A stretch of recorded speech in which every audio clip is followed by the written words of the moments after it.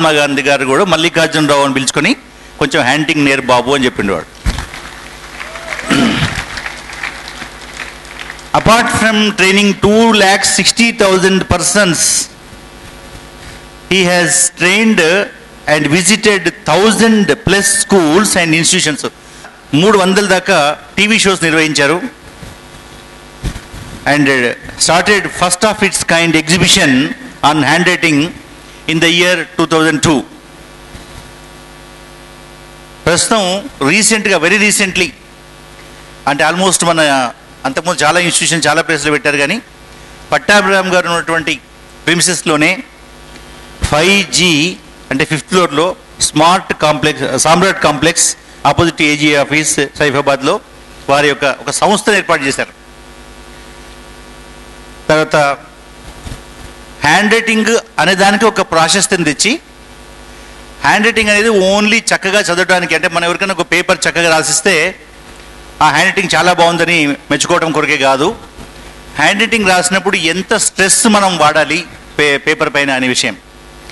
నాకు అంటే ఇంట్రడక్షన్లో చెప్పడం సబబు కాదేమో కానీ ఒక డాక్టర్ గారు ఆయన భార్యకు లెటర్ రాస్తారు. ఆవిడకి అర్థం కాదు.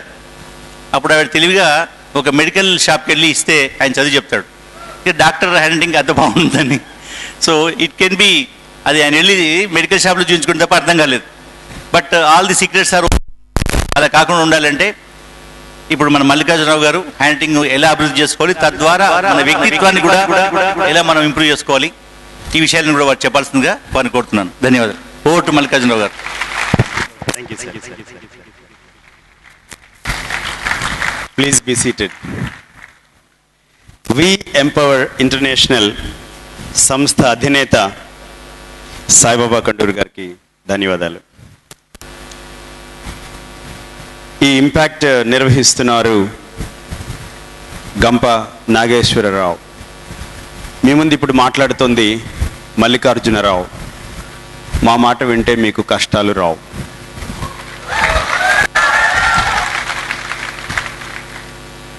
తలరాతను తలదనేదే చేతిరాత అంటారు డాక్టర్ బివి పట్టాభిరామ్.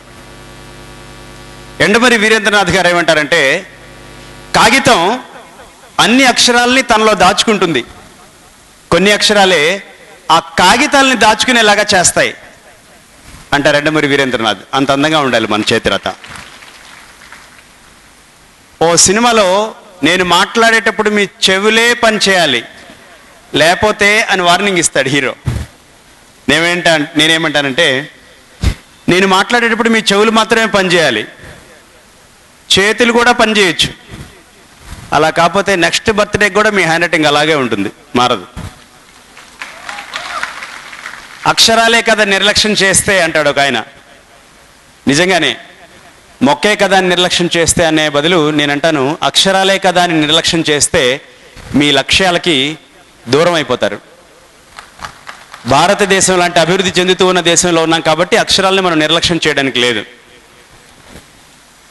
ఇంత అద్భుతమైన అవకాశం నాకు ఇచ్చినందుకు అక్షరాలకి పూజ చేసే అవకాశం నాకు ఇచ్చినందుకు అక్షరార్చన చేయించడానికి నన్ను ఆహ్వానించుకున్నందుకు ఇంపాక్ట్ వారికి కృతజ్ఞతలు తెలియజేస్తూ ఈరోజు నా టాపిక్ రెగ్యులర్గా అన్ని ఇంపాక్ట్స్లో మాట్లాడుతున్నాను కాబట్టి చేసుకుని వచ్చాను. దాని పేరు common mistakes of hand writing అందరికీ ఉపయోగపడుతుంది ఈ టాపిక్. అక్షరాస్యులందరూ వాడుకోవాల్సిన టాపిక్ ఇది. జనరల్గా మనం ఏం మిస్టేక్స్ చేస్తాం? హ్యాండ్ రైటింగ్ రాసేటప్పుడు మనం ఏం మిస్టేక్స్ చేస్తాం? మీలో ఇప్పుడు ఇంక్ పెన్ ఎవరి దగ్గర ఉందో చేయి పైకి లేపి చెప్తారా? ఇప్పుడు ప్రజెంట్గా ఈ హాల్లో. చూడండి ఒకసారి అందరినీ చూడండి ఎంతమంది దగ్గర ఇంక్ పెన్ ఉందో. ఆ ఇంక్ పెన్తో చేయి లిఫ్ట్ చేయాలి. ఆ ఇంక్ పెన్ నేను ఇలా లిఫ్ట్ చేసి చూపించాలి నాకు. మీ దగ్గర ఉన్న ఇంక్ పెన్ ఇలా లిఫ్ట్ చేసి చూపించండి చూసారా? Around four five people. నా దగ్గర ఒక ఇంక్ పెన్ ఉంది. మనం చేసే కామన్ మిస్టేక్స్లో ఒకటి ఇంక్ పెన్ యూస్ చేయకపోవడం. ఈ రోజు నుంచి ఇంక్ పెన్ యూస్ చేయండి. మీ హ్యాండ్ రైటింగ్లో చాలా చాలా చాలా తేడాలు వస్తాయి. ఇంక్ పెన్ యూస్ చేస్తే అప్పుడు ఆ స్ట్రోక్కి మన మైండ్కి మంచి కనెక్టివిటీ దొరుకుతుంది my dear friends. Ball point pen రాసేటప్పుడు ఆ పాయింట్ కింద వైపు బాల్ ఉంటుంది రొటేట్ అవుతూ ఉంటుంది గుండ్ర గుండ్రంగా తిరుగుతూ ఉంటుంది దాని మీద మన కంట్రోల్ ఉండదు. ఆ స్ట్రోక్కి మనకి ఒక మంచి కంట్రోల్ దొరుకుతుంది.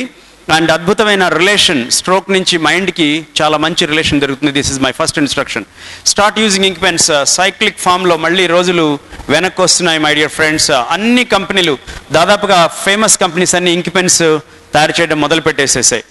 మీరు రెగ్యులర్గా స్కూల్స్కో కాలేజ్కో ఆఫీస్కో వెళ్ళేటప్పుడు మీరు బాల్ పాయింట్ పెన్ క్యారీ చేయొచ్చు.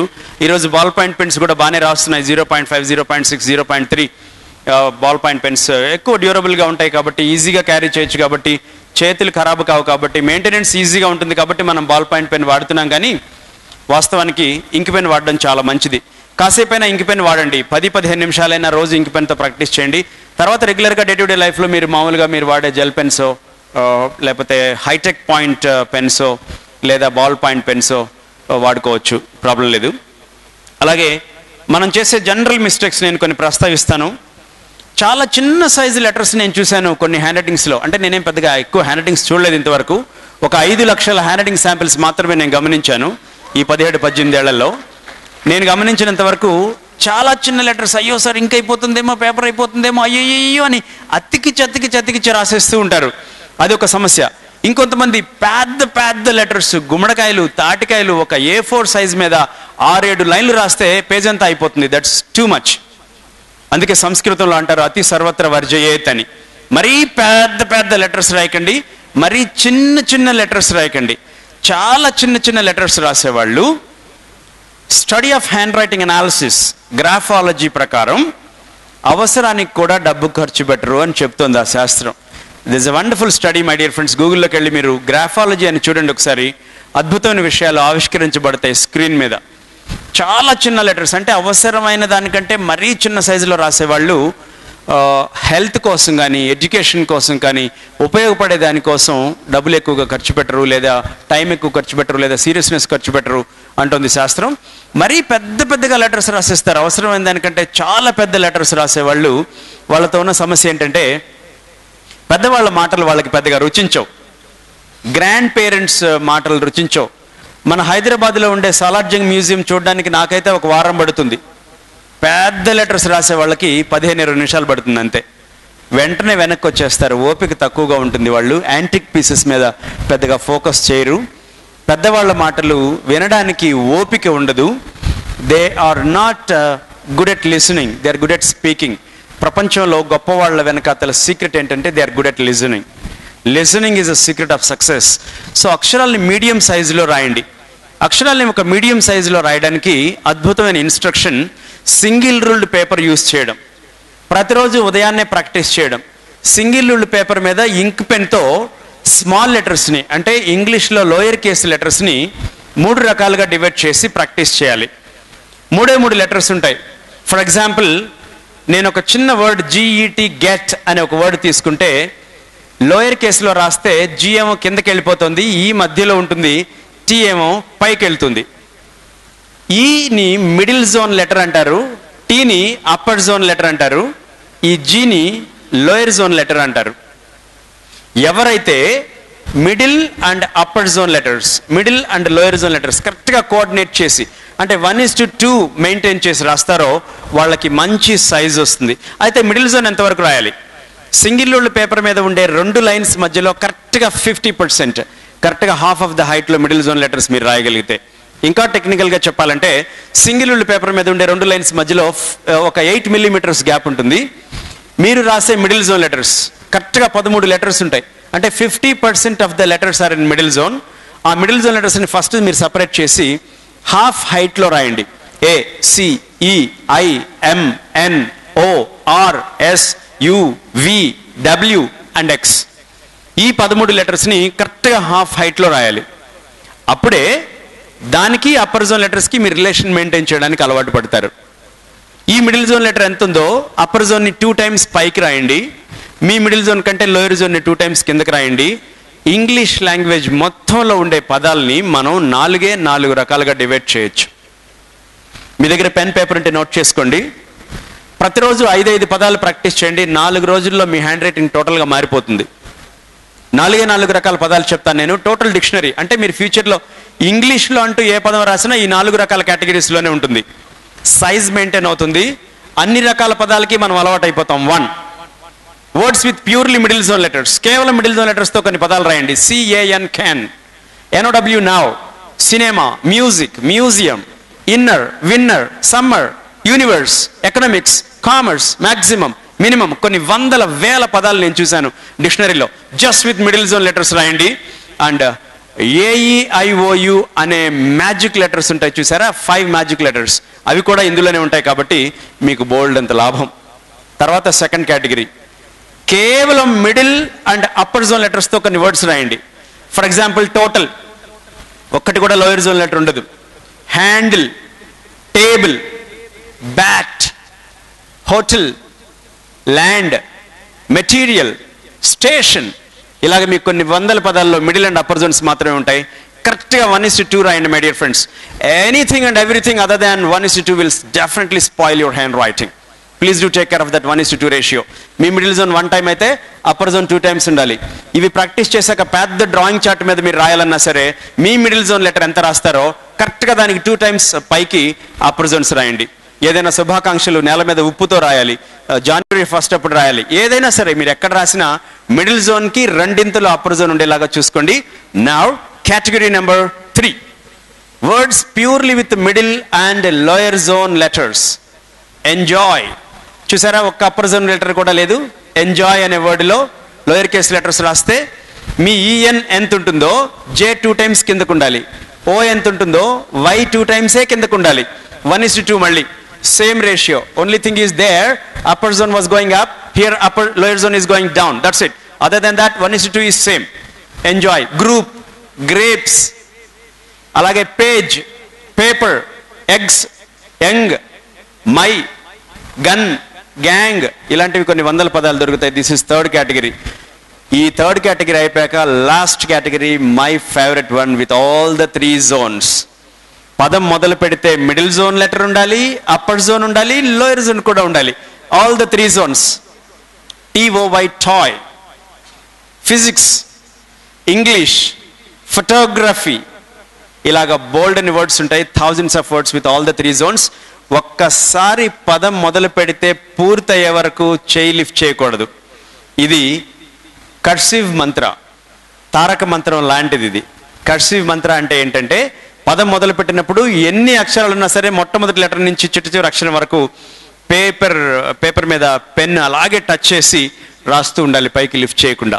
ఇలాగ ఈ నాలుగు రకాల పదాలని ప్రతిరోజు ఒక్కొక్కటి ఫైవ్ ఫైవ్ వర్డ్స్ ఒక్కొక్క కేటగిరీలో ఫైవ్ ఫైవ్ వర్డ్స్ మీరు రాయగలిగితే త్రీ ఫోర్ డేస్ తర్వాత మీ హ్యాండ్ రైటింగ్లో సైజ్ ప్రాబ్లం మట్టు మాయం అయిపోతుంది అండ్ ఆ రోజు మీరు ఇంపాక్ట్కి థ్యాంక్స్ చెప్పుకుంటారు.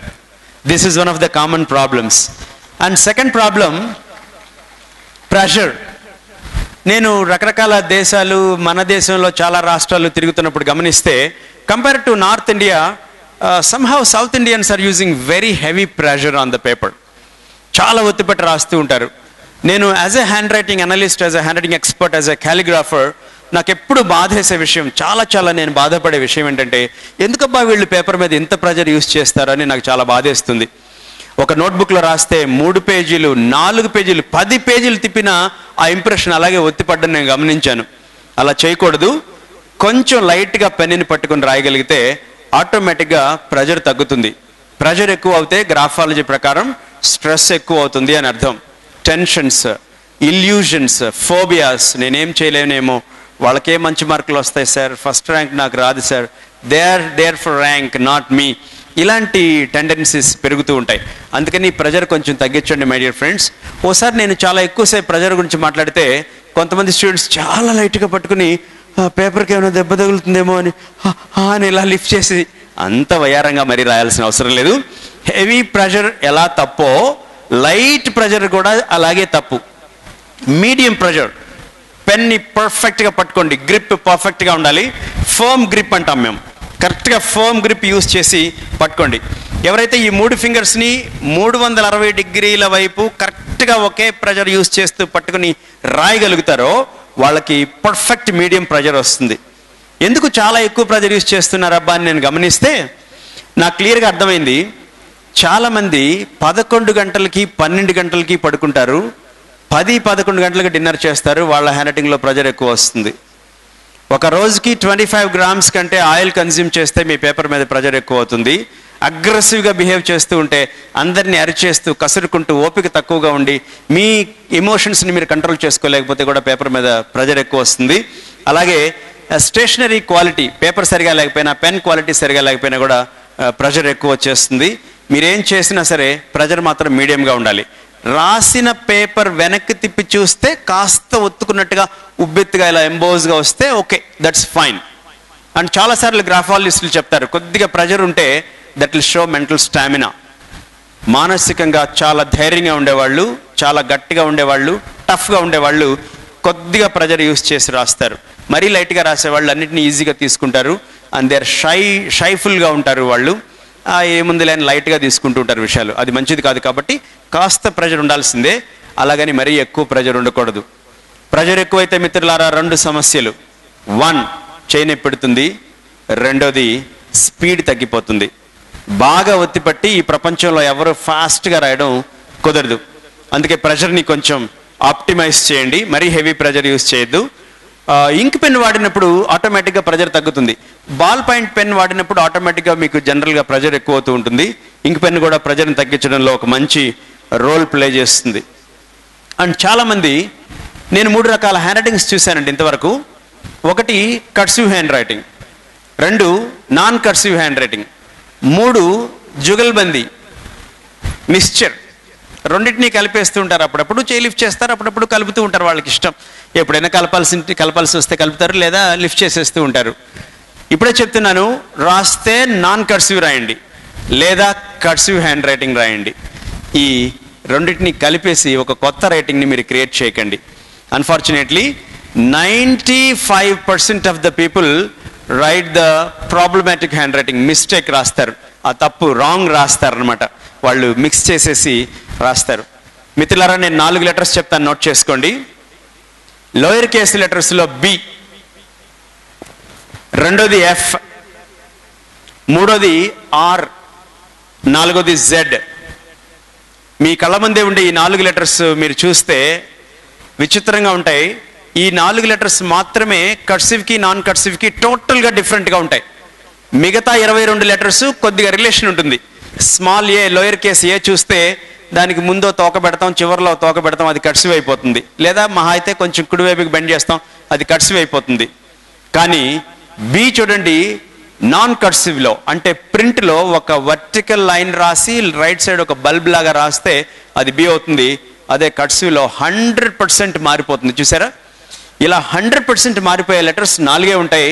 అవే B F R and Z ఈ నాలుగు లెటర్స్ విషయంలో జాగ్రత్తగా ఉండండి. కర్సివ్ రాసేటప్పుడు నాన్ కర్సివ్ లెటర్స్ వాడకండి. నాన్ కర్సివ్ రాసేటప్పుడు కర్సివ్ లెటర్స్ వాడకండి. అండ్ ఎస్పెషలీ కర్సివ్ కరెక్టా నాన్ కర్సివ్ కరెక్టా అంటే కరెక్ట్ ఆన్సర్ అయితే రెండు కరెక్ట్. కొంచెం బాపు గారు చెప్తారు కదా uh, ఎక్కువ సమానం తక్కువ సమానం అని. భార్యాభర్తలు ఇద్దరు సమానమేనంట. భర్త కొంచెం ఎక్కువ సమానం అంట భార్య కొంచెం తక్కువ సమానం అంట రాధాగోపాలం సినిమాలో ఉంటుంది. అలాగే రెండు మంచిదే. రెండు సమానమే. కర్సివ్ హ్యాండ్ రైటింగ్ కొంచెం ఎక్కువ సమానం. నాన్ కర్సివ్ హ్యాండ్ రైటింగ్ కొంచెం తక్కువ సమానం. ఎందుకంటే రాసేటప్పుడు ప్రతి లెటర్కి చేయి లిఫ్ట్ చేస్తాం. చూసారా? నాన్ కర్సివ్ హ్యాండ్ రైటింగ్లో పుడక్షరాలు రాసేటప్పుడు ప్రతిసారి చేయి లిఫ్ట్ చేస్తాం. అదే కర్సివ్ రాసేటప్పుడు ఇలా జాయిన్ చేసి రాస్తాం. నాకు విచిత్రమైన స్టేట్మెంట్ వినపడింది. ఈరోజు మార్నింగ్ నేను స్కూల్లో క్లాస్ చేస్తున్నాను.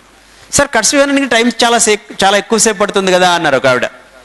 కర్సివ్ హ్యాండ్ రైటింగ్ ఎక్కువ టైం పడుతుందా? ఎస్ ప్రాక్టీస్ చేసేటప్పుడు కొంచెం ఎక్కువ సమయం ఎక్కువ సమయం పడుతుంది. ప్రాక్టీస్ చేసేసాక నిజం చెప్పాలంటే కలిపిరాతకే తక్కువ టైం పడుతుంది. ఎందుకంటే you're not lifting your hand first letter నుంచి లాస్ట్ లెటర్ వరకు అలాగే జాయిన్ చేస్తేస్తూ రాసేస్తూ ఉంటారు. కానీ ఈ క్రమంలో మీరు జాగ్రత్తగా ఉండవలసింది ఐజేటి అనే మూడు లెటర్స్ గురించి. ఆంగ్ల భాషలో ఉండే ఇరవై ఆరు లోయర్ కేస్ లెటర్స్లో ఐ జే టి ఈ మూడు మాత్రమే double stroke letters and all the remaining twenty three letters are called single stroke letters ఈ డబుల్ స్ట్రోక్ విషయంలో జాగ్రత్తగా ఉండాలి.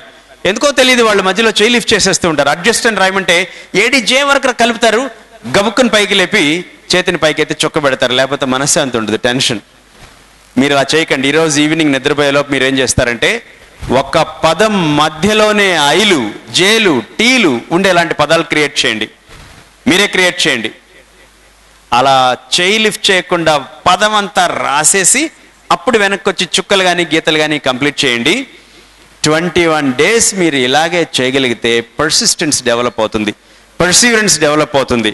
అంటే ఏదైనా ఒక కార్యక్రమం చేపడితే చివరి వరకు అనుకున్న డెసిషన్ వరకు ఆ రోజు వరకు మీరు అంటిపట్టుకుని ఉండాలి అంటే చేతి రాత ద్వారా suggestion do not break any word ఒక్కసారి పదం మొదలు పెడితే చివరి వరకు చేయిలిఫ్ట్ చేయకండి. ఒక అద్భుతమైన పర్సిస్టెన్స్ మీకు డెవలప్ అవుతుంది. దీన్ని గ్రాఫోథెరపీ అంటారు. గ్రాఫోథెరపీ అంటే చేతిరాతలో చిన్న చిన్న సజెషన్స్ చిన్న చిన్న చేంజెస్ చేయడం ద్వారా మనస్తత్వంలో చేంజెస్ తీసుకురావడం. ఈ గ్రాఫోథెరపీని యూజ్ చేసుకుని హ్యాండ్ రైటింగ్ని కొంచెం మార్చుకోండి. ఈ రోజు వరకు లెఫ్ట్ స్లాంట్లో రాస్తూ ఉంటే మానేయండి. Today is the last day for left slant టెక్నికల్గా మేము దాన్ని బ్యాక్వర్డ్ స్లాంట్ అంటాం. కుడివైపుకు వంచి రాయడాన్ని ఫార్వర్డ్ స్లాంట్ అంటారు. Backward slant is highly opposed by the international graphologist my dear friends చాలా డెవలప్డ్ నేషన్స్లో నేను గమనించాను. బ్యాక్వర్డ్ స్లాంటర్స్ చాలా షైఫుల్గా ఉంటారు. బ్యాక్వర్డ్ స్లాంటర్స్ తొందరగా సాటిస్ఫై అయిపోతారు. బ్యాక్వర్డ్ స్లాంటర్స్ ఆర్ ఇంట్రావర్డ్స్ ఎడమ వైపుకి అక్షరాలను ఇలా వంచి రాసేవాళ్ళు వెనకాతలు ఎక్కడో కూర్చుంటారు. చీకటిని ఇష్టపడతారు ఒంటరిగా ఉండాలనుకుంటారు. దేన్ని ఎక్స్ప్రెస్ చేయడానికి అంతగా ముందుకు రారు. అదే కుడివైపుకి వంచి రాస్తే ఏది? కలిపి రాతలో మాత్రమే. కలిపిరాత రాస్తున్నప్పుడు అక్షరాలను కుడివైపుకి వంచి రాయండి. అదే పొడక్షరాలు రాసేటప్పుడు నిటారుగా రాయండి. ఇంగ్లీష్లో కలిపి రాతే మంచిది అనుకుంటున్నాం కాబట్టి ఎక్కువ మంచిది అనుకుంటున్నాం కాబట్టి కాస్త రైట్ సైడ్కి కొద్దిగా రైట్ సైడ్కి బెంచ్ చేసి రాయడం అలవాటు చేయండి. ఒక పేజ్లో fifteen sixteen seventeen twenty lines ఉన్నా సరే ఫస్ట్ లైన్లో ఫస్ట్ వర్డ్లో ఫస్ట్ లెటర్ ఎంత స్లాంట్ ఉంటుందో అదే స్లాంట్ని కొనసాగిస్తూ చివరి వరకు లాస్ట్ వరకు అదే స్లాంట్ని ఎవరైతే మెయింటైన్ చేయగలుగుతారో దే బికమ్ ఎక్స్ట్రావర్డ్స్ ఎక్స్ట్రావర్డ్స్ని తెలుగులో బహిర్ముఖులు అంటారు ఇంట్రావర్డ్స్ని అంతర్ముఖులు అంటారు. ఈ అంతర్ముఖులు చాలాసార్లు నిశ్శబ్దంగా ఉంటారు. ఎంత టేస్టీ ఫుడ్ పెట్టినా వాళ్ళని దాని గురించి ఏం కామెంట్ చేయరు. ఎంత పెద్ద జోక్ వేసినా పెద్దగా నవ్వరు. వీళ్ళతో కొంచెం కష్టంగా ఉంటుంది. అందుకే according to international graphology I strongly suggest you to slant your letters slightly to right side కొద్దిగా రైట్ సైడ్ చేయండి. మీరు చాలా పెద్దవాళ్ళు అయిపోయిన తర్వాత జాబ్స్ అవి వచ్చేసి సెటిల్ అయిపోయిన తర్వాత ఎక్కడైనా కావాలంటే మధ్యలో బ్రేక్ చేయొచ్చు వర్డ్స్ ఎక్కడైనా ఒక వర్డ్ అప్పుడప్పుడు ఐ కోసమో అప్పుడప్పుడు టీ కోసమో అక్కడక్కడ ఒకటి రెండు సార్లు బ్రేక్ అయినా పర్లేదు. అందులో కూడా ఒక చిన్న పాజిటివ్ ఉంది. అదేంటంటే ఇంట్యూషన్ ఎవరికి తెలుసు ఇంట్యూషన్ అంటే? అదే ఫోర్ సి అంటారు కదా. Expecting the things much before they happen ముందే ఊహించేస్తారు వాళ్ళు. వాళ్ళకు సిక్స్త్ సెన్స్ లాంటిది ఉంటుంది. అలాంటి వాళ్ళు చేతిరాతలు అప్పుడప్పుడు వర్డ్స్ని బ్రేక్ చేసేస్తారు. కానీ స్టూడెంట్స్ మాత్రం ఎవరు బ్రేక్ చేయకండి. ఎందుకంటే నేను చాలాసార్లు గమనించాను. నేను ఎండాకాలం మ్యాంగో అని రాయమంటే ఒక అబ్బాయి చాలా సీరియస్గా కర్సివ్ హ్యాండ్ రైటింగ్లో మ్యాంగో అని రాశాడు. రాసేసిన తర్వాత చూస్తే అదేమో మ్యాన్ గో. ఏ వెళ్ళిపోహాయా నువ్వు అన్నట్టుగా ఉంది అది. నాకు ఈ ఎగ్జాంపుల్ కూడా డాక్టర్ పట్టాభిరామ్ గారే ఇచ్చారు. నేను వేరే ఎగ్జాంపుల్ రాసేవాడిని ఇంకోటి ఉందని ఆయన ఇలా ఇచ్చారు. So that's why I strongly suggest you to write something in cursive handwriting నేను ఒక పదం రాసి చూపిస్తాను చూడండి మై డియర్ ఫ్రెండ్స్ అడ్జస్టింగ్ అనే ఒక పదం రాస్తున్నాను.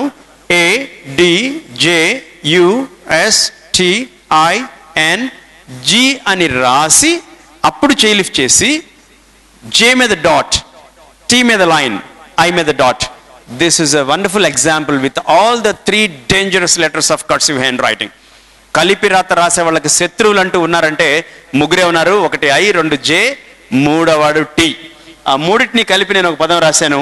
And I'm not lifting my hand కానీ ఇంకొక చాలా చాలా సీరియస్ విషయం మీరు ఇంపాక్ట్కి వచ్చారు కాబట్టి అద్భుతాలు సాధించాలని మీరు ఇక్కడ ఉన్నారు కాబట్టి మనం జనరల్గా వర్డ్ని ఇక్కడ ఎండ్ చేస్తే ఈ ఐ డాట్ ఫస్ట్ పెట్టాలనే ఒక ఫీలింగ్ వస్తుంది. You generally feel like putting the last one first and you feel like going from right to left side which is wrong. ఎప్పుడు అలా చేయకండి మిత్రులారా. ఎందుకంటే according to graphology left part of the page is called past and right part of the page is called future. Except one two languages in the world most of the languages go from left to right side especially english. It's going from left to right side. ఈ ఎడమ వైపు భాగాన్ని past అంటారు కుడివైపు భాగాన్ని future అంటారు. మీరు you have to go from past to future future నుంచి పాస్ట్కి రాకూడదు. ఎలా వీలవుతుంది అసలు ఫ్యూచర్ నుంచి పాస్ట్కి రావడానికి? ఎస్ చాలా కష్టపడి వస్తూ ఉంటారు కొంతమంది వెనక్కి. అంటే they feel like constructing the barriers from presence to past which is wrong my dear friends అది చాలా చాలా తప్పు. ఎందుకో ఎప్పుడో ఓ చిన్న తప్పు చేస్తుంటాం ఎవరో మనల్ని అవమానించుంటారు. వాళ్ళు భయంకరమైన అద్భుతమైన వాల్యుబుల్ ప్రజెన్స్ని వేస్ట్ చేసుకుంటూ ఉంటారు. నేను కామర్స్ చదివేటప్పుడు మా సార్ చెప్పారు Mallikarjun yesterday was like a cancelled cheque tomorrow is like a promissory note today is like a cash ప్రతి cash available in your hand అని. ఈ రోజే అన్నిటికంటే అద్భుతమైన రోజు. Today is the day now is the time అంటాడు America వాడు. అలాగే ఈ పాస్ట్ వదిలేసేయండి ఫ్యూచర్కి వెళ్ళండి my dear friends first j dot then t bar then i dot so మీరు రాసిన పదంలో ఒకటి కంటే ఎక్కువ ఐలు కానీ జేలు కానీ టీలు కానీ ఉంటే మీరు పదం పూర్తయ్యాక లెఫ్ట్ మోస్ట్కి వచ్చి first left side portion complete చేసి తర్వాత రైట్ సైడ్ పోర్షన్స్ కంప్లీట్ చేస్తూ ఉంటే you will fo you will focus something towards future ఇంకెప్పుడు మీరు పాస్ట్ గురించి uh, ఏం చేయలేరు. ఎందుకు పాస్ట్ గురించి అసలు ఆలోచించని ఆల్సిన అవసరం లేదు. ఇలాంటి ఒక అద్భుతమైన కట్సివ్ హ్యాండ్ రైటింగ్ రాయండి. అండ్ చాలా మంది హ్యాండ్ రైటింగ్లో నేను గమనించాను ఎస్పెషల్లీ లాస్ట్ లెటర్ జీ ఉన్నప్పుడు ఇలా వదిలేస్తూ ఉంటారు. దిస్ ఈజ్ సంథింగ్ రాంగ్ ఎట్టి పరిస్థితుల్లో జీలు కానీ వైలు కానీ పదం చివరిలో వస్తే వదలకూడదు my dear friends always you have to extend it upwards నేను ఇలా చేశాను చూసారా? ఈ జీ ఎలా అయితే నేను పైకి ఎక్స్టెండ్ చేశానో అలాగే మీరు ఎక్స్టెండ్ చేయండి. యూ టేక్ సమ్ వర్డ్స్ కొన్ని వర్డ్స్ ప్రత్యేకంగా మీరు తీసుకోండి. జేలు వైలు జీలు ఇలాగా అలాంటి వర్డ్స్తో మీరు ఎండ్ అలాంటి పదాలు ఏదైనా తీసుకుంటే ఆటోమేటిక్గా మీరు ఆ ఎండింగ్ పోర్షన్స్ ఇలా పైకి తీసుకోవడం వస్తారు. అలా లేకుండా జీని కింద వదిలేస్తే ఏమవుతుందంటే they have some problem called physical frustrations. Illusions ఎక్కువ ఉంటాయి వాళ్ళు ఫోబియాస్ ఉంటాయి. ఏదో చేస్తూ ఉంటారు మధ్యలో వదిలేస్తారు. They break and once again they started something new. అదే పనిని మళ్ళీ మొదటి నుంచైనా మొదలు పెడతారు లేదా అది పని కాలేదే అని బాధపడుతూ ఉంటారు. సో అలా బాధపడడం చాలా చాలా తప్పు కాబట్టి you to go towards future కాబట్టి please stop this habit and make it like this and మనం చేసే మిస్టేక్స్లో కామన్ మిస్టేక్ చాలా మంది ఎక్కువ మంది చేసే మిస్టేక్ ఏంటంటే they write a bad n like this me hand రైటింగ్లో ఎన్ ఎక్కడుందో చూసుకోండి మై డియర్ ఫ్రెండ్స్ ఎన్లో ఈ భాగంలో చాలా మంది గ్యాప్ ఎక్కువ ఇస్తున్నారు that is wrong n and m are very much related to each other n ఇలా రాసే వాళ్ళందరూ ఖచ్చితంగా ఎంని కూడా ఇలాగే రాస్తారు. చూడండి ఎంలో ఇక్కడ గ్యాప్ ఎక్కువ వచ్చేసింది యూలో కూడా ఎంలో ఇక్కడ గ్యాప్ వచ్చేసింది అదే గ్యాప్స్ మీకు యూలో కూడా వచ్చేస్తాయి. సో చాలామంది ఈ రిలేటెడ్ లెటర్స్ ఎన్స్ ఎమ్స్ యూస్లో చాలా మిస్టేక్స్ చేస్తారు. అవి ఎక్కువగా దొరలే లాంటి పదాలను మీరు తీసుకోండి. అన్యూజువల్ మినిమం నెంబర్ ఇలాంటి వర్డ్స్ తీసుకొని మ్యూజిక్ యూనియన్ ఇలాంటి వర్డ్స్ మీరు తీసుకొని ప్రాక్టీస్ చేయండి. నేను ఒకసారి ఓ అబ్బాయిని ఒక వర్డ్ రాయమని అడిగాను. సరే సార్ కర్సివ్లోనే కదా అని చకా చకా చకా చకా రాసేసాడు అయిపోయింది అన్నాడు ఇదేంటి ఇంగ్లీషా? నేను వాడిని రాయమని అన్న word minimum.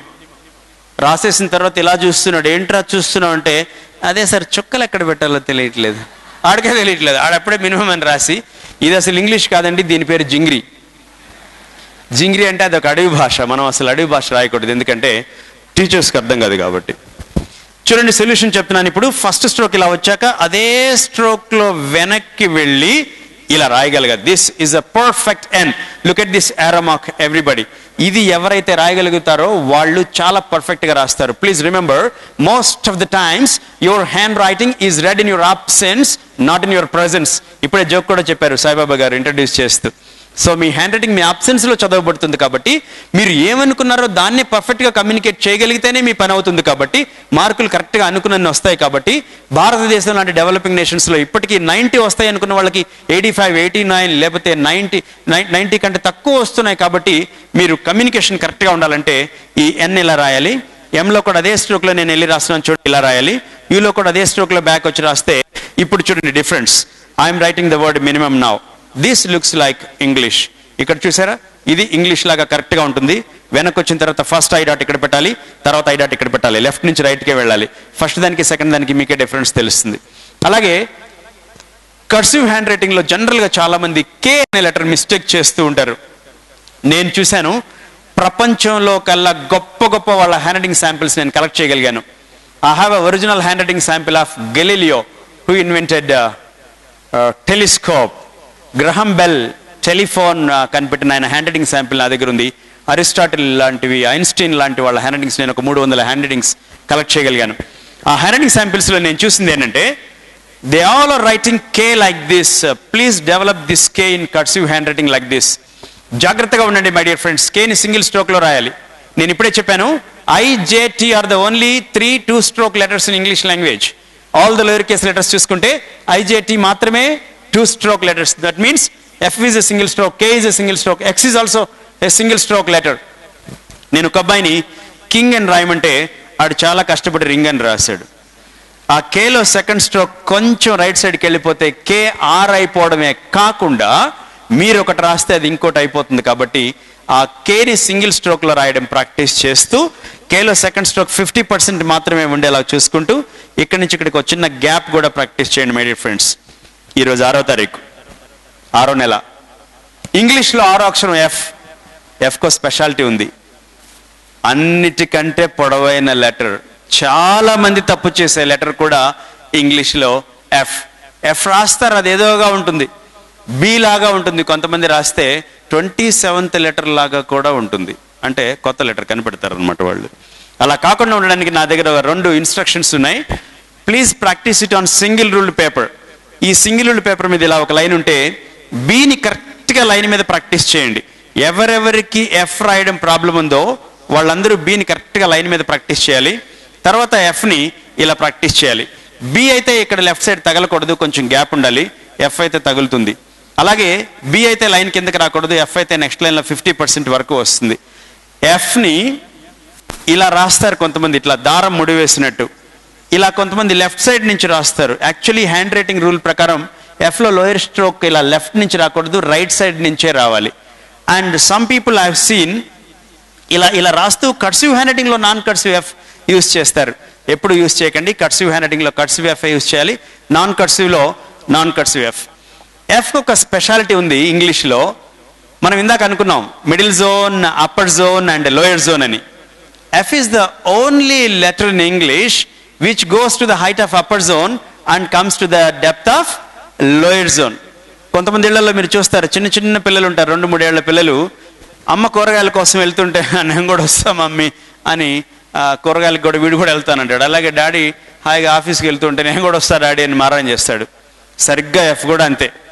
English cursive hand రైటింగ్లో మీరు ఫ్లై అనే వర్డ్ రాసి చూసుకుంటే మీకు ఈ పాటికి అర్థమై ఉండొచ్చు. L is upper zone letter and y is a lower zone letter ఈ ఎఫ్ చూసారా? మీరు గమనిస్తే ఎల్ అప్పర్ జోన్ కదా? కరెక్ట్గా దాని దగ్గరికి వెళ్ళి నేను కూడా వస్తా అని చెప్పి ఎల్ దాకా వెళ్తుంది. ఈ వై లోయర్ జోన్ కదా? కరెక్ట్గా ఎఫ్ కూడా మళ్ళీ వై దాకా వస్తుంది. This is the only letter in English f is the only letter in English పాత రోజుల్లో పీ కూడా ఉండేది మిత్రులారా పీని కన్ఫ్యూజ్ అవ్వకండి.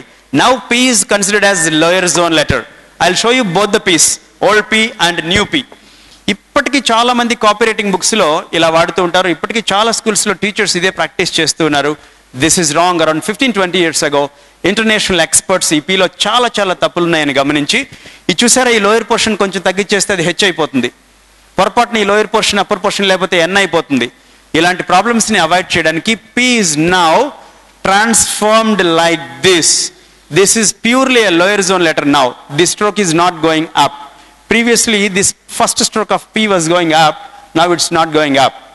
From middle zone to lower zone it's traveling. So p రాసేటప్పుడు రైట్ సైడ్ పోర్షన్ టోటల్గా క్లోజ్ చేయండి. అదే స్ట్రోక్లో వెనక్కి తీసుకెళ్ళండి. గ్రాఫాలజీ గురించి మాట్లాడుతున్నాం కాబట్టి ఈ పి అనే లెటర్లో ఎవరైనా ఇక్కడ గ్యాప్ ఎక్కువ ఇస్తే వాళ్ళు ఆర్గ్యుమెంటేటివ్ అయిపోతారు. చాలా వాదిస్తూ ఉంటారు. వితండవాదాలు చేస్తూ ఉంటారు. అందుకని కూడా ఈ పీని క్లోజ్ చేసేసారు. And don't write p like this and always write p like this అలాగే హ్యాండ్ రైటింగ్లో నేను చూస్తూ ఉంటాను. చాలాసార్లు కొంతమంది కామన్ మిస్టేక్ చేస్తూ ఉంటారు. O is one of the very frequently repeated letters ఇలా రాస్తారు కానీ అది క్లోజ్ కాదు సరిగా. ఏ రాస్తారు కానీ ఇలా క్లోజ్ కాదు సరిగా. ఎవరైనా మీరు ఇంతకు ముందే రాసిన హ్యాండ్ రైటింగ్ మీ దగ్గర ఉంటే ఇంటికి వెళ్ళాక చూసుకోండి. లాస్ట్ వీక్ రాసిన hand writing శాంపిల్స్ని go surf through the pages you have done in the last week and you will observe the kind of A's you have you will observe the kind of O's you have పొరపాటున ఎక్కువ ఏలు ఎక్కువ ఓలు close కాకపోతే వీళ్ళందరూ ఎక్కువ మాట్లాడతారు అని అర్థం. ఓపెన్ ఓస్ ఓపెన్ ఏస్ ఓపెన్ మౌత్స్.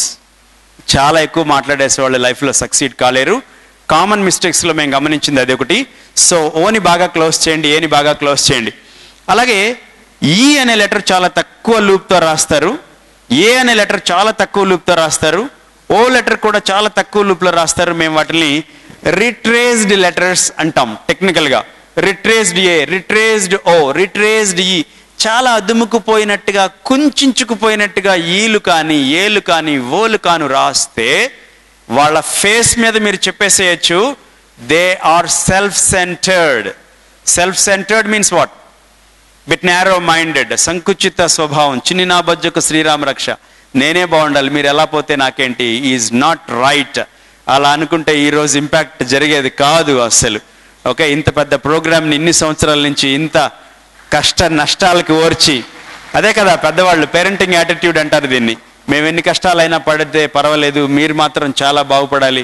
మీ వయసులో మేము ఎన్ని చూసాం ఎన్ని పడ్డాం మీరు అలా పడకుండా పైకి రావాలనేది ఆ పేరెంటల్ యాటిట్యూడ్ అంటారు దాన్ని ఎలాగ ఇంపాక్ట్ చేస్తున్నాం. So you please take as many words as you can with E's O's and A's write them very healthy ఇలా చేయండి మిత్రులారా. ఈలతో ఏలతో ఓలతో ఎక్కువ పదాలు తీసుకోండి. హాయిగా బోల్డ్గా రాయండి. అప్పుడు వేరే వాళ్ళ కాళ్ళల్లో మీరు వేరే వాళ్ళ చెప్పుల్లో మీ కాళ్ళు పెట్టి చూడగలిగేంత గొప్పవాళ్ళు మీరు అవుతారు. వాళ్ళ స్థానంలో నేనుంటే ఏమై ఉండేది? నేనైతే ఎలా ఆలోచించేవాడిని ఎలా ఆలోచించేదాన్ని అనే అనేది ఒక అద్భుతమైన ఆలోచన. అలాంటి ఆలోచన రావాలంటే మీ ఏలు ఈలు ఓలు చాలా జ్యూసీగా హెల్దీగా మంచి వవల్ షేప్లో హెల్దీ వవల్ షేప్స్లో రావాలి. అండ్ అలాగే చాలామంది హ్యాండ్ రైటింగ్లో చేసే కామన్ మిస్టేక్ ఏంటంటే ఆ లైన్స్ని రాస్తూ ఉంటారు. కొన్నిసార్లు కిందకి వెళ్ళిపోతూ ఉంటాయి కొన్నిసార్లు పైకి వెళ్ళిపోతూ ఉంటాయి కొన్నిసార్లు కొంతమంది స్ట్రైట్గా రాస్తారు కానీ ఒక లైన్ స్ట్రైట్గా రాసి రెండో లైన్ ఇలా వెళ్ళిపోతూ ఉంటుంది ఒక లైన్ పైకి వెళ్ళిపోతుంది ఇట్లా కాకుండా అన్నీ కూడా యూనిఫామ్గా ఈవెన్గా రాయండి. Most of you when you writing examinations plain paper వాడతారు కాబట్టి ప్లెయిన్ పేపర్ మీద చక్కగా రాయగలగాలి. కొంచెం పైవైపుకి వెళ్తున్నట్టుగా అనిపిస్తే ఓకే మై డియర్ ఫ్రెండ్స్ కొద్దిగా ఈ line రాశాక it's slightly ascending it's okay but today is the last day for the descending lines my dear friends ఎట్టి పరిస్థితుల్లో మీ లైన్స్ డిసెండ్ అవ్వకూడదు. రాస్తున్న వాక్యాలు ఇలా పడిపోతూ వాక్యం అంతా ఇలా వంగిపోతూ ఉంటే టెక్స్ట్తో పాటు సిగ్నేచర్ కూడా కింద వైపుకి వంగిపోతే I don't know suicidal tendencies they are in a big problem they are suffering psychologically చాలా చాలా ఫీల్ అయిపోయే వాళ్ళు వాళ్ళని వాళ్ళు తక్కువ చేసుకునే వాళ్ళు ఇంకేం ప్రపంచంలో నాకు ఇంకేం చేయడానికి లేదు అని ఆలోచనలు వస్తూ ఉన్నప్పుడు అలా వెళ్ళిపోతూ ఉంటాయి మై డియర్ ఫ్రెండ్స్ గుర్తుపెట్టుకోండి hand writing is not hand writing for us it is brain writing మీ చెయ్యి ఏమి రాయదండి చేతికి ఏం తెలియదు అసలు. ఇట్స్ జస్ట్ ఫిజికల్ ఇన్స్ట్రుమెంట్ ఇలా ఇలా ఫిజికల్గా ఇన్స్ట్రుమెంట్ని ఇలా పట్టుకుని ఇలా మూవ్ చేస్తూ ఉంటుంది అంతే. చెయ్యి మూవ్ అవుతుంది. అది ఏం రాయట్లేదు పేపర్ మీద. Everything is return by your brain your mind అందుకే మేము దాన్ని బ్రెయిన్ రైటింగ్ అంటాం. మీ all all your psychological attitudes all your feelings they are mention in your hand writing because your brain is making a note on this paper that's a reason there are no two identical hand writings observed so far on this planet earth ఇంతవరకు ఈ భూప్రపంచం మీద ఏ ఏ రెండు చేతిరాతలు ఒకేలాగా లేవు మీకు తెలుసో తెలియదు మీ hand writing మీదే మీ ఫ్రెండ్స్ హ్యాండ్ రైటింగ్ వాళ్ళదే యునీక్గా ఉంటుంది. ఒక్కొక్క హ్యాండ్ రైటింగ్ యునీక్గా ఉంటుంది. ఒక్కొక్క ఫింగర్ ప్రింటింగ్ యునిక్గా ఉంటుంది. ఒక్కొక్కళ్ళ వాయిస్ యునిక్గా ఉంటుంది. ఒక్కొక్కళ్ళ వ్యక్తిత్వం యునిక్గా ఉంటుంది.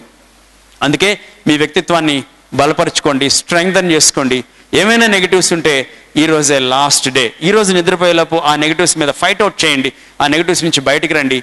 పాజిటివ్స్ని స్ట్రెంగ్థన్ చేసుకోవడానికి ప్రాక్టీస్ చేయండి. And I would like to give you one idea in English cursive hand writing ఈ ఇదేదో అంటారు కదా ఒక ఐడియా జీవితాన్ని మార్చేస్తుంది అని. కలిపిరాత రాయడానికి నా దగ్గర ఒక చిన్న టెక్నిక్ ఉంది. రైట్ సైడ్కి బెండ్ చేస్తారు మీడియం ప్రెజర్తో రాస్తారు. టెక్నిక్ ఏంటంటే ఒక్కొక్క లెటర్ ప్రాక్టీస్ చేసేటప్పుడు బిగినింగ్ అండ్ ఎండింగ్ స్ట్రోక్తో ప్రాక్టీస్ చేయండి. This is A in non cursive hand writing and this is A in cursive hand writing చూసారా ఇక్కడ ఒక బిగినింగ్ స్ట్రోక్ ఉంది ఇక్కడ ఒక ఎండింగ్ స్ట్రోక్ ఉంది. దీని పేరు బిగినింగ్ స్ట్రోక్ దీని పేరు ఎండింగ్ స్ట్రోక్ ఒక్కసారి మీరు లెటర్ని బిగినింగ్ అండ్ ఎండింగ్ స్ట్రోక్తో నేర్చుకుంటే చాలు ఆటోమేటిక్గా అది ఇంకో లెటర్ కనెక్ట్ కనెక్ట్ అయిపోతుంది. చిన్న పిల్లలు రైలు ఆట ఆడుకుంటూ ఉంటారే వీళ్ళని వాళ్ళు పట్టుకుని వాళ్ళని ఇంకొకళ్ళు పట్టుకుని ఇలా పట్టుకుని అంతే కట్స్ హ్యాండ్ రైటింగ్ అంటే అంతే ఇంకేం లేదు. ఈ లెటర్ దాన్ని పట్టుకోవాలి దాన్ని దీన్ని పట్టుకోవాలి అది ఇంకో దాన్ని పట్టుకోవాలి. ఆ వర్డ్లో ఆరు లెటర్స్ ఉన్నా ఎనిమిది ఉన్నా పది లెటర్స్ ఉన్నా ఒకదాన్ని ఇంకొకటి కనెక్ట్ చేయాలంటే బిగినింగ్ స్ట్రోక్ ఎండింగ్ స్ట్రోక్స్ రెండు పనికొస్తాయి. From the previous letter to A I can connect from this beginning stroke very happily and A to next letter I can happily join that to the next letter ఆటోమేటిక్గా join అయిపోతాయి. First ఇలా practice చేయండి.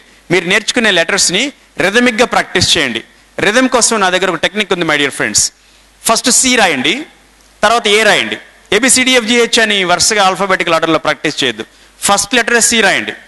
దాని తర్వాత ఏ రాస్తే మీరు ఆ C లాగే స్టార్ట్ చేసి ఏ రాయగలుగుతున్నారా లేదా తెలుస్తుంది. తర్వాత డి రాయండి ఆ సి లాగే స్టార్ట్ చేసి రాస్తున్నారా లేదా తెలుస్తుంది. జీ రాయండి క్యూ రాయండి ఓ రాయండి సిక్స్ లెటర్స్ రాయండి. అదంతా ఒక గ్రూప్లో రాయండి రాస్తూ ఉండండి లైన్ అంతా సిఏ డిజిక్యూఓ అని రాయండి. అలాగే రిలేషన్ ఎక్కడైతే ఉంటుందో ఆ లెటర్స్ అన్నిటిని పికప్ చేయండి. G is a letter which is called lower zone one.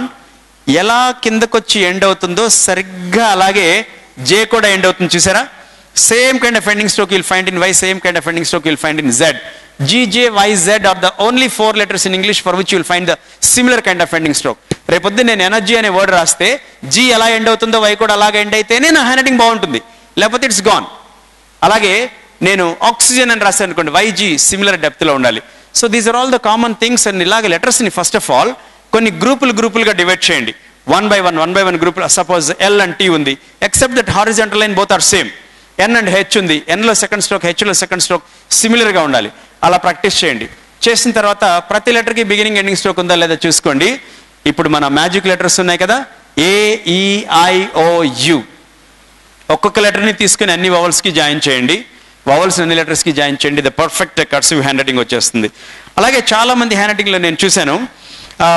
They they have a very bad beginning strokes ఒక మంచి బిగినింగ్ స్ట్రోక్ వల్ల నేను ఈరోజు మీకు ఒక మంచి attitude నేర్పిస్తున్నాను my dear friends you can have a small hook kind of thing ఒక చిన్న హుక్తో స్టార్ట్ చేస్తే చూసారా ఎం కానీ ఎన్ కానీ ఇలాంటి లెటర్స్ ఒక చిన్న హుక్తో ఆల్రెడీ స్టార్ట్ చేసేవాళ్ళు కొద్దిగా హ్యూమరస్గా ఉంటారు. కొంతమంది మాట్లాడుతూ ఉంటే గడియారం చూసుకుంటూ ఉంటాం ఎప్పుడైపోతుందా అని. కొంతమంది మాట్లాడితే టైమే తెలియదు గంటల తరబడి అలా అయిపోతూ ఉంటుంది. సో కొంచెం humorous may make your surroundings bit lighter ఆ లైటర్ సరౌండింగ్స్ని ఎవరు చేయగలుగుతారో వాళ్ళంతా చాలా గొప్ప వాళ్ళు అవుతారు. వాళ్ళని వేరే వాళ్ళు కూడా ఇష్టపడతారు. So people feel like you know spending time with you అందుకని ఇలాంటి చిన్న చిన్న హుక్స్ తయారు చేయండి. వీటికి హెచ్ కానీ ఎంకి కానీ ఎన్కి కానీ ఆ చిన్న హుక్స్తో ఆల్రెడీ రాసేవాళ్ళు కొద్దిగా హ్యూమరస్ టచ్ ఇస్తారు. ఆ హ్యూమరస్ టచ్ నిజంగా చాలా చాలా పనికొస్తుంది. అలాగే హ్యాండ్ రైటింగ్ అనేది ప్రతిరోజు ఎర్లీ మార్నింగ్ ఒక ఇంక్ పెన్ తీసుకుని ట్వంటీ వన్ డేస్ రెగ్యులర్గా మీరు ప్రాక్టీస్ చేస్తే ఒక మంచి కర్సివ్ వస్తుంది. నాకెందుకు సార్ ఈ కర్సివ్ హ్యాండ్ రైటింగ్ గొడవ? నేను non cursive రాసుకుంటానంటే excellent fantastic no problem you can go with the non cursive hand writing నాకు ఒకే ఒక భయం ఏంటంటే నాన్ కర్సివ్ హ్యాండ్ రైటింగ్తో చాలామంది వర్డ్స్ రాసేటప్పుడు ఇలా మధ్య మధ్యలో చేయి లిఫ్ట్ చేసేస్తూ ఉంటాం కదా నాన్ కర్సివ్ రాస్తూ రాస్తూ ఎక్కడో ఒక చోట ఎక్కువ స్పేస్ అయిపోతే మీరు లెజెండ్ అని పదం రాయాలనుకుంటే అది కాస్త లెగ్ ఎండు అని తయారవుతుంది. సో అన్ని చోట్ల చేయిలిఫ్ట్ చేస్తాం కాబట్టి మనకు తెలియదు I don't know this will happen less than one percent maybe ninety nine point nine ninety nine point nine percent కేసెస్లో ఏమవుతుందంటే it may lead to some meaning less words so ఎవరైనా నాన్ కర్సివ్ రాస్తే పొడక్షరాలతో రాస్తే జాగ్రత్తగా ఉండండి. ఆ పదానికి సంబంధించిన అక్షరాలు ఇవి అని మీరు కమ్యూనికేట్ చేయగలిగితే ఐ డోంట్ మైండ్ కానీ నాన్ కర్సివ్ రాసేటప్పుడు రెండు విషయాలు గుర్తుపెట్టుకోండి. నైంటీ డిగ్రీస్లో రాయండి. ఎట్టి పరిస్థితుల్లో కొంచెం కూడా స్లాండ్ చేయొద్దు. అలాగే ఒక పదానికి సంబంధించిన లెటర్స్ మధ్యలో ఈక్వల్ స్పేసెస్ మెయింటైన్ చేసి రాయగలుగుతున్నారా లేదా? ఆ ప్రాబ్లం ఎక్కువగా ఉండే వాళ్ళు టూ లెటర్ వర్డ్స్ తీసుకోండి. దాని ఆ ప్రాబ్లం అవాయిడ్ అయిపోయిన తర్వాత మీరు ఓవర్కమ్ చేశాక త్రీ లెటర్ వర్డ్స్ తీసుకోండి. రెండు స్పేసెస్ ఈక్వల్గా ఉండాలి. ఫోర్ లెటర్స్ తీసుకోండి మూడు స్పేసెస్ ఈక్వల్గా ఉండాలి. ఫైవ్ లెటర్స్ తీసుకోండి నాలుగు స్పేస్ అలాగా గ్రాడ్యువల్గా keep on increasing the number of letters in your words and you become fantastic with your hand writing my dear friends today we cannot go anywhere without communication skills ఈ ఈ సభ అన్ని రోజులు ఈ June first నుంచి eighth వరకు మేమంతా ఎక్కువగా communication skills మీద సక్సెస్ మీద కాన్సన్ట్రేట్ చేస్తూ ఉంటాం. Through hand writing I'm focusing on the same concept communication hand writing is one of the very effective tools of communication కాబట్టి so power presentation power point presentation కాదు. Power presentation yoga వేరు power yoga వేరు. Meditation వేరు power meditation వేరు. అలాగే presentation వేరు power presentation వేరు. Power point కాకుండా పవర్ ప్రజెంటేషన్ చేయండి. The best. ఒక క్యాప్ లెటర్ రాస్తే ఒక స్మాల్ లెటర్ రాస్తే అసలు మీరంటే ఏంటో తెలిసిపోవాలి. Especially non cursive cap letters my dear friends. ఎంతో మంది నాన్ కర్సివ్ క్యాప్ లెటర్స్లో ఎన్నో వయారాలు చేస్తుంటే నేను చూశాను. ఇది ఎల్ అంట. ఇంత వయారాలు చేయకండి. ఎన్నోసార్లు అప్లికేషన్ ఫామ్స్ ఫిలప్ చేసేటప్పుడు మిమ్మల్ని బ్లాక్ లెటర్స్లో రాయమంటారు. ఒక ఆయన్ని కే రాయమంటే ఐసీ అని రాశాడు. ఇంకొక ఆయన్ని ఎం రాయమంటే ఉయ్యాల అని ఆ కేరళలో ఉంటాయి చూసారా? రెండు కొబ్బరి చెట్ల మధ్యలో ఒక ఉయ్యాల కట్టి అలా రాశాడు. ఇంకొక ఆయన ఏంటో ఎప్పుడు మెక్డొనాల్డ్స్కి వెళ్తాడేంటో తెలియదు కానీ ఇది అమ్మంట ఇలాంటివి చాలా చాలా తప్పు ఇది అవమానం. అక్షరం మనం పుట్టక ముందే ఉంది. అక్షరం మనం చనిపోయిన తర్వాత కూడా ఉంటుంది. ఈ మధ్యలో ఈ జన్మలో ఎన్నో సంవత్సరాల నుంచి ఉన్న ఆ అక్షరాల్ని మన నాలెడ్జ్కి ఉపయోగపడే అక్షరాల్ని పాడు చేసే హక్కు మనకు లేదు. అక్షరాల్ని గౌరవించాలి. దాన్ని ఇన్సల్ట్ చేసే అధికారం మనకు లేదు కాబట్టి సో ఎంలో మిడిల్ స్ట్రోక్ కింద దాకా వచ్చేలాగా తీసుకుని ప్రాక్టీస్ చేయండి. కేలో మూడు స్ట్రోక్స్ ఉండాలి గమనించండి my dear friends one two three ఇది స్టిఫ్గా ఉంటుంది మిమ్మల్ని చూడగానే మీ హ్యాండ్ రైటింగ్ చూడగానే ఓ వీళ్ళు ఎవరో చాలా స్టిఫ్ చాలా యాక్టివ్ ఎఫెక్టివ్ ప్రజెంటేషన్ చేశారు. ఎల్ అనగానే వన్ టూ ఆ రెండు స్ట్రోక్స్ అలా స్పష్టంగా తెలియాలి. టీ అనగానే వన్ టూ ఆ రెండు స్ట్రోక్స్ కనపడాలి. ఏంటో వయ్యారం ఇలా రాసి దాని మీద గొడుగులాగా అదేదో పుట్టగొడుగులాగా అలా పెట్టేస్తూ ఉంటారు. ఇలాంటివన్నీ చాలా చాలా తప్పు. బ్లాక్ లెటర్స్తో మీరు ప్లే చేయకండి. స్టిఫ్ బ్లాక్ లెటర్స్ నా దగ్గర ఒక సెవెన్ స్ట్రోక్స్ ఉన్నాయి మై డియర్ ఫ్రెండ్స్ ఈ రోజు నుంచి ఒక వారం పది రోజులు ఈ సెవెన్ స్ట్రోక్స్ ప్రాక్టీస్ చేయండి. నేను వాటిని రెండు రకాలుగా డివైడ్ చేస్తున్నాను. ఒకటి straight strokes one two three four ఈ నాలుగిటిని స్ట్రైట్ స్ట్రోక్స్ అంటారు. ఇంకో మూడు స్ట్రోక్స్ని కర్వ్డ్ స్ట్రోక్స్ అంటారు. C reverse C and circle ఈ మూడింటిని కర్వ్డ్ స్ట్రోక్స్ అంటారు. ఈ నాలుగిటిని స్ట్రైట్ స్ట్రోక్స్ అంటారు. మీరు ఆశ్చర్యపోతారు. ఈ నాలుగే నాలుగు గీతలతో మీరు పదిహేను బ్లాక్ లెటర్స్ తయారు చేయొచ్చు. కావాలంటే చూడండి ఏలో ఇవే ఉంటాయి ఎల్లో ఇవే ఉంటాయి ఎంలో ఉంటాయి కేలో ఉంటాయి డబ్ల్యూలో ఎక్స్లో వైలో జెడ్లో. పదిహేను లెటర్స్లో ఈ నాలుగు గీతలే ఉంటాయి. అక్షరాలను ఎవరు కనిపెట్టలేదండి. గీతలు కనిపెట్టారు వాటిని మేము కాలిగ్రఫీలో బేసిక్ ఎలిమెంట్స్ అంటాం. ఆ బేసిక్ ఎలిమెంట్స్తో ఎవరైతే పరిపుష్టం అవుతారో వాళ్ళు అక్షరాల్ని పేపర్ మీద అందంగా అద్భుతంగా వాళ్ళ వ్యక్తిత్వానికి తగ్గట్టుగా ఆవిష్కరించడానికి సిద్ధం అవుతారు అందుకే ఈ బేసిక్ స్ట్రోక్స్ రెండు రకాల బేసిక్ స్ట్రోక్స్ ఇవి స్ట్రైట్ స్ట్రోక్స్ ఇవి కర్వ్డ్ స్ట్రోక్స్ ప్రతిరోజు ఇది ఒక నాలుగు సార్లు ఇది ఒక నాలుగు సార్లు ఇది ఒక నాలుగు నాలుగు నాలుగు సార్లు లేకపోతే నాలుగు నాలుగు లైన్లు ప్రాక్టీస్ చేయండి. దాని తర్వాత మీరు బ్లాక్ లెటర్స్లో ఒక పదం రాయండి. చాలా మందికి ఇప్పటికీ బ్లాక్ లెటర్స్లో పదాలు రాయాలంటే అన్ని ఒక హైట్లో రాయలేరు. అప్లికేషన్ ఫామ్ ఫిల్అప్ చేసేటప్పుడు చిన్న పిల్లల్లా కరెక్ట్ చేస్తూ ఉంటారు. చేతులు దాచిపెట్టుకొని సిగ్గుపడుతూ వాళ్ళు ప్రాక్టీస్ చేస్తూ ఉంటారు రాస్తూ ఉంటారు. నాకు బాధేస్తుందో. ఈ సింపుల్గా ఈ బేసిక్ స్ట్రోక్స్ ప్రాక్టీస్ చేస్తే వాటి యొక్క అర్థవంతమైన కాంబినేషన్ లెటర్స్ కాబట్టి చాలా చాలా బాగా వస్తాయి తెలుగులో లెటర్స్ ఉంటాయి my dear friends. Capital letters small letters ఏ ఉండవు. హిందీలో కూడా లోయర్ కేస్ అప్పర్ కేస్ ఏ ఉండవు.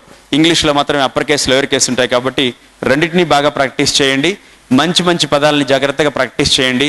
మీరు అప్లికేషన్ రాస్తున్న ఆఫీస్లో రాస్తున్న బాస్కి కమ్యూనికేట్ చేస్తున్నా సబార్డినేట్కి కమ్యూనికేట్ చేస్తున్నా మీ వ్యక్తిత్వాన్ని కాగితం మీద ఆవిష్కరిస్తున్నారని మర్చిపోకుండా ప్రజెంట్ చేయండి. మీకు గుడ్ న్యూస్ చెప్తాను ఇప్పుడు. కావాలా వద్దా? క్లాస్ అయిపోయింది.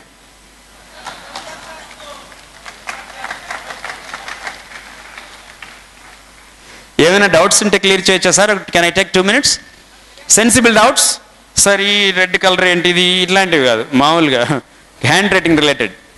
Yes T and I T and I lower case O capital T capital I okay cursive cap లెటర్స్లో మూడు లెటర్స్ ఉంటాయి. దాంతోపాటు let me add J also చాలా మందికి capital T capital I capital J రాసినప్పుడు దాదాపుగా ఇలా రాసేస్తారు. మూడు ఒకలాగే కనపడతాయి. This is cursive capital T this is cursive capital J and this is cursive capital I మూడు డిఫరెంట్ టీతో కొన్ని వర్డ్స్ రాయండి జేతో కొన్ని వర్డ్స్ రాయండి ఐతో కొన్ని రాయండి. చాలా మంది వీటి మధ్యలో మూడిట్లో కన్ఫ్యూజ్ అవుతూ ఉంటారు. Please be very conscious cursive capital letters జాగ్రత్త ప్రాక్టీస్ చేయండి. ఇంకా? ఎస్ హ్యాండ్ రైటింగ్ మెంటాలిటీని మారుస్తుంది. ఎందుకంటే బ్రెయిన్ నుంచి స్ట్రోక్స్ ఇలా ట్రావెల్ చేసి నర్వ్స్ నుంచి మజిల్స్ నుంచి వస్తే పడుతుంది కాబట్టి stroke. As a doctor as a therapist if I change the stroke the same thing will travel back దాన్ని రివర్స్ మెకానిజం అంటారు. దానికి గ్రాఫోథెరపీ అని పేరు. It will take twenty one days ఆ చేంజెస్ ఏవైతే మేము సజెస్ట్ చేసామో ఒక ఎక్స్పర్ట్ దగ్గర మీరు ఆ చేంజెస్ తీసుకుని ట్వంటీ వన్ డేస్ సింగిల్ ఉల్లి పేపర్ మీద జాగ్రత్తగా ప్లెయిన్ పేపర్ మీద కానీ సింగిల్ ఉల్లి పేపర్ మీద కానీ ప్రాక్టీస్ చేస్తే ఆ రివర్స్ మెకానిజం ద్వారా it will retune your mind you can also set your mind in a back in a positive way yes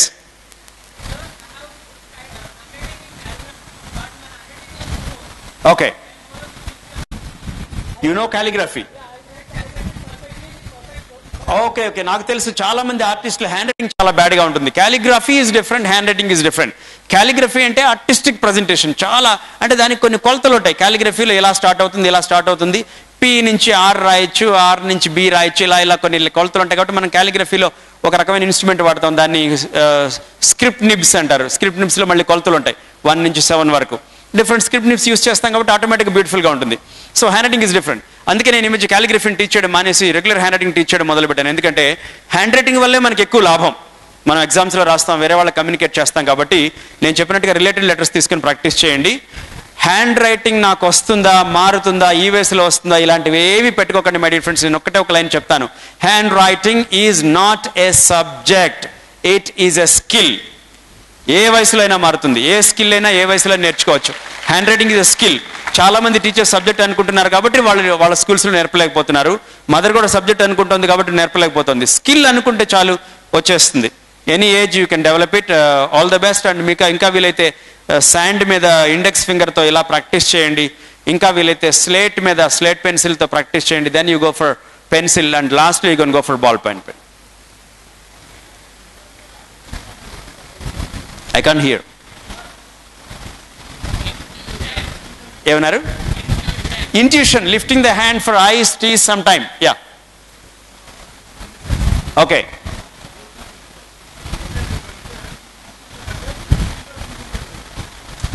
okay. Intuition అంటే? ఇంట్లో ట్యూషన్ చెప్పడం. Okay okay. మీరు మిస్ చేశారు sir. Hand writing related doubts అడగాలి మీరు. Well that's little different yeah daily ఎంత time practice చేయాలి? చాలా చాలా important doubt not more than twenty minutes in single slot మీరు ప్రాక్టీస్ చేయడం మొదలుపెట్టినప్పుడు మీ మైండ్లో concentration level one hundred percent ఉంటుంది. ఇరవై నిమిషాలు దాటాక concentration level slowly comes down it effect negatively on your paper కాబట్టి దయచేసి ఒక్క స్లాట్లో ట్వంటీ మినిట్స్ మాత్రమే ప్రాక్టీస్ చేయండి. అలాంటివి రెండు మూడు సార్లు మీరు చేసుకోవచ్చు. ఓ మూడు నాలుగు గంటలు గ్యాప్ ఇచ్చాక మళ్ళీ ఇంకో ట్వంటీ మినిట్స్ చేయొచ్చు. ఎవరిని దయచేసి ఫోర్స్ చేయకండి. మీ పిల్లలు ఎవరైనా ఉంటే. యా గర్ల్స్ అమ్మా చెప్పు. జెడ్ క్యాపిటల్ లెటరా స్మాలా రెండు. గొడవ వదిలిపోయింది. రెండు. Okay. Capital letter Z small letter Z నేను క్యాపిటల్ లెటర్ జెడ్కి ఒక మంచి క్లూ చెప్తాను. నేను ఒక నాలుగు పాయింట్స్ పెట్టాను ఇక్కడ చూసారా? ఫస్ట్ హారిజెంట్ రాశాక స్లాష్ రాసేటప్పుడు మీరు ఎక్కడ బిగిన్ చేస్తారో సరిగ్గా దాని కిందకు వచ్చేలాగా చూసుకుంటేనే మీ జెడ్ బాగుంటుంది. అది ప్రింట్ అయినా సరే కర్సివ్ హ్యాండ్ రైటింగ్ అయినా సరే ఫస్ట్ హారిజెంటల్ అయిపోయాక ఎక్కడ బిగిన్ చేశారో స్లాష్ సరిగ్గా దాని కిందకి రావాలి. మళ్ళీ హారిజెంటల్ లైన్ రాస్తున్నప్పుడు ఈ హారిజెంటల్ లైన్ ఎక్కడైందో సరిగ్గా దాని కింద ఎండ్ అవ్వాలి. This is a basic principle this is called anatomy of Z అది బేసిక్ ప్రిన్సిపల్ అయితే స్మాల్ లెటర్స్ని నేను ఒక రివర్స్ సి రెండో reverse C lower case Z చూపిస్తున్నాను చూడండి. ఈ రివర్స్ సీని కొంచెం చిన్నదిగా చేసి ఈ రివర్స్ సీని కొంచెం పెద్దదిగా చేసి మీ జీలాగా లాగా జే లాగా ఎండ్ చేస్తే లోయర్ కేసులో ఒక మంచి జెడ్ వస్తుంది ఈజీగా నెంబర్ త్రీ నుంచి you can make a lower case Z and this is block letter and ఇంకా కర్సివ్ క్యాప్ లెటర్లో కావాలంటే ఇలా రాయొచ్చు. This is cursive capital Z okay thanks to impact thanks to greatest mentors on this planet earth doctor BB Pattabhiram garu Yandamuri garu thanks to గంప గారు thanks to Saibaba garu thanks to all of you thanks to your parents ఎంత చక్కగా పెంచారండి మిమ్మల్ని. ఇంత విఘ్నతతో విన్నారు. Thank you very much this is the symbol of success the way you are to the session it shows you are the best beautiful listening skills congratulations and wish you all the very best my email ID is handwriting fifty six at Gmail dot com email id is uh, handwriting56 at gmail.com handwriting56 at gmail.com